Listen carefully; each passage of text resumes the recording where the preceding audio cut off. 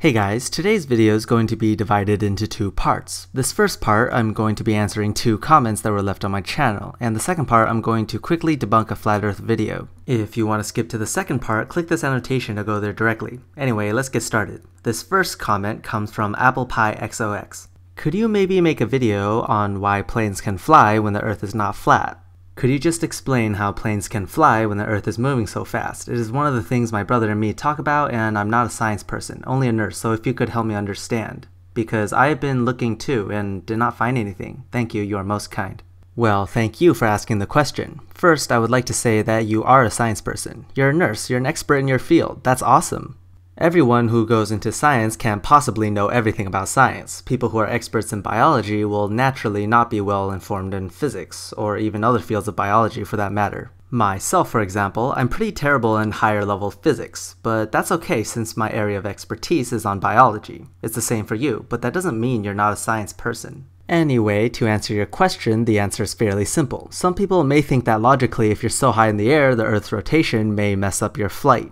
I'm not sure exactly how your brother is saying how the rotation of the Earth affects the plane, but this is what a lot of people get confused about. Let's say you're flying against the rotation of the Earth. In that case, you're going extremely fast since the Earth is rotating against you. Meanwhile, if you're flying with the rotation of the Earth, you can't catch up because the Earth is rotating so fast. But in reality, it's not like that. Everything comes down to relativity. Think of it this way. If you're on a train that's moving 200 kilometers per hour and is moving at a constant speed, will you have difficulty walking to the front or to the back of the train? The answer is no, right? Walking to the front or back of the train feels the same as any regular walking routine you've ever done. And this is the same for the Earth. The Earth is spinning. Everything on the Earth is spinning with it. The air and the plane is part of the Earth. And just like on a train, you're not going to feel the rotation of the Earth as long as the Earth maintains a constant rotation speed. And by you, I mean the plane. The plane won't feel the rotation of the Earth. When the plane is in the air, it rotates with the Earth. Any movement that does from there only travels the plane a distance relative to the Earth. I hope that answers your question. If I misunderstood or didn't give you the answer you were looking for, just feel free to ask me again. Anyway, let's move on to our second comment. This one comes from Shelly. Hey Stick, I would love to see a video on your take of the spotlight sun. Based on some stuff I read on flat earthers, they all say the sun is like a spotlight, plus they like to use the term how we actually experience it. In that case, since I have never seen a spotlight without some shell at the back or around the edge to prevent the light from illuminating all around it, does that mean a spotlight sun has a shell around it that causes the distinction of day and night as we experience it? Thanks, Shelly, for your question. Here's the thing. When flat earthers say spotlight sun, they don't actually mean that there's a shell in the back of it, although that's what it sounds like. They're saying that the sun's illumination is like a spotlight and only lights up a local area.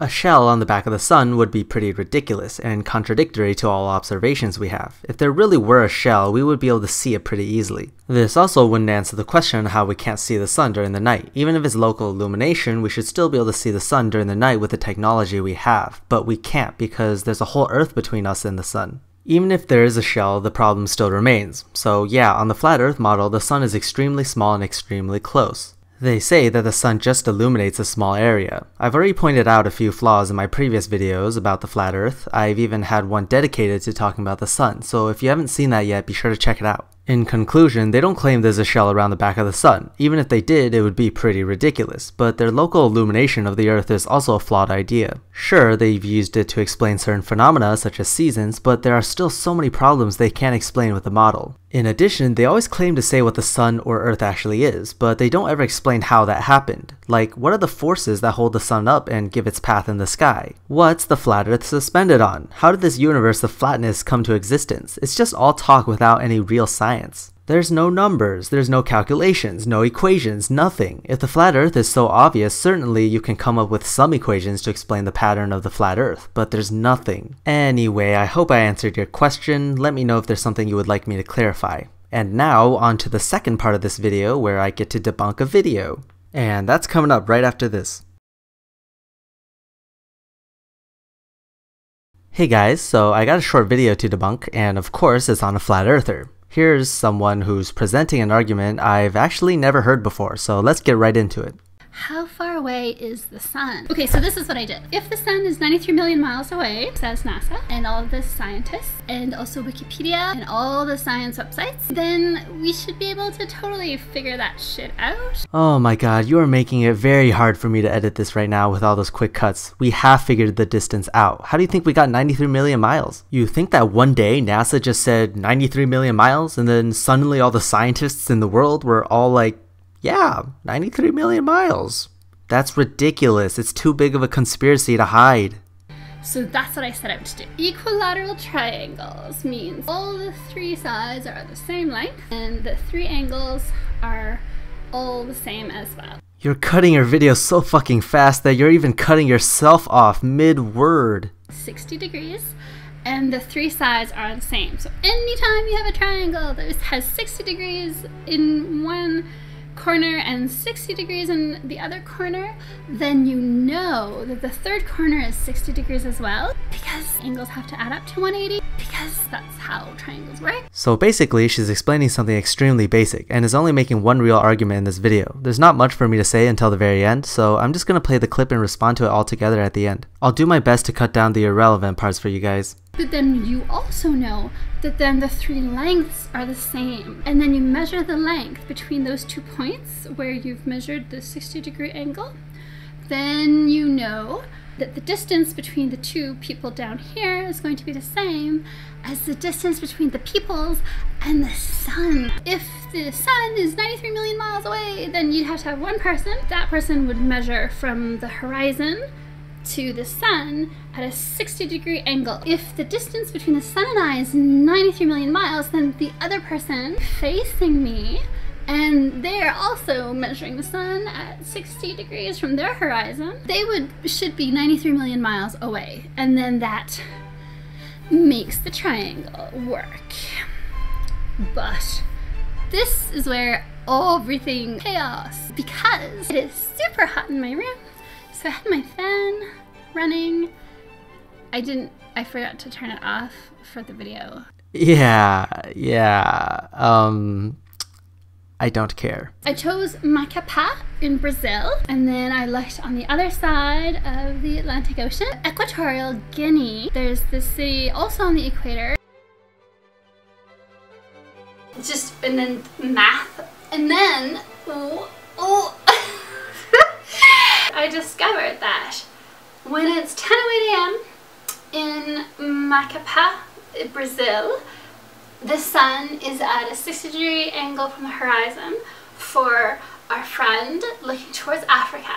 And then at that same time, around 2.08 p.m., uh, for the person standing in Malabo, Africa, looking towards the west, they're seeing the sun at that 60 degree angle from the horizon because of the time zones. That's the same moment. And then we have two people facing each other, 60 degree angle, the sun. Then we can figure out the distance between these two people tells us the difference between each of those people and the sun.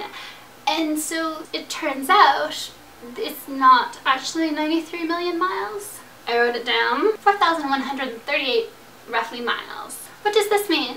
This means that the sun is not 93 million miles away.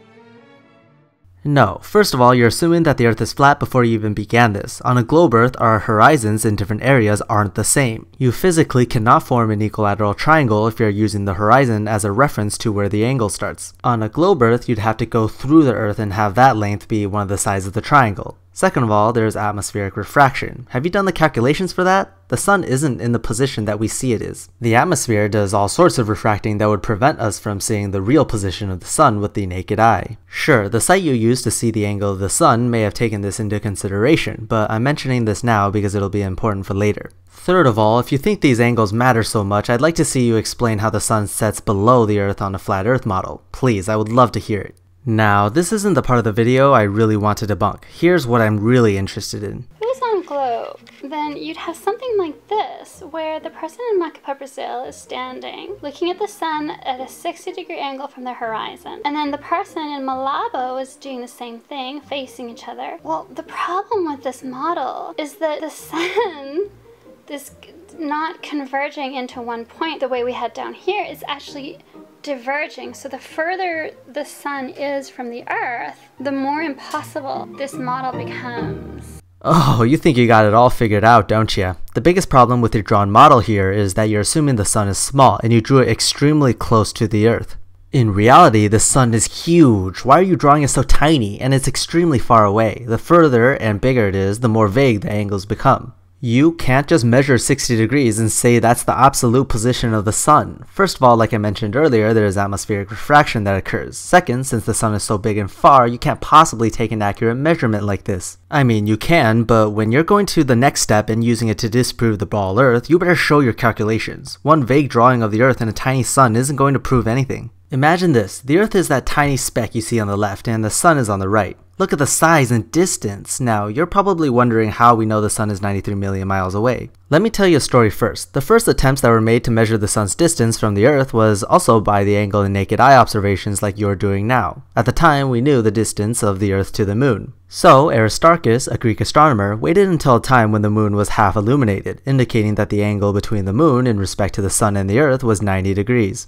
He then used this estimation to determine the sun's distance. The problem with this is that he used his observations to estimate, which ultimately gave him the wrong answer. Kind of like what you're doing. Now, continuing on with the story, it was only until later when we more accurately measured the sun's distance, and we did this with Venus. In short, when you observe Venus very carefully at a specific time, you can watch it pass over certain parts of the sun. After timing this pathing, we can then determine the distance between the Earth and Venus, and then ultimately the Earth and the Sun. Now, this isn't the only method we have that says the Sun is 93 million miles away. We have other methods too. For example, we have used parallaxes with Mars to determine roughly the same distance. Yes, we do use angles all the time when it comes to measuring the distances of stars and planets. However, we never use two angles from the same source. We never use two angles we obtain from Earth because that's highly unreliable. Wait, correction. We never use two angles from Earth at the same time. We can use angles from Earth after we know that the Earth has traveled a certain distance, but we will never take two angles from Earth at the same time. That is where your little drawing goes wrong. Sorry, but reality doesn't work the way you think it does, and I hope you will think about stuff like this more before you go boasting about it on the internet.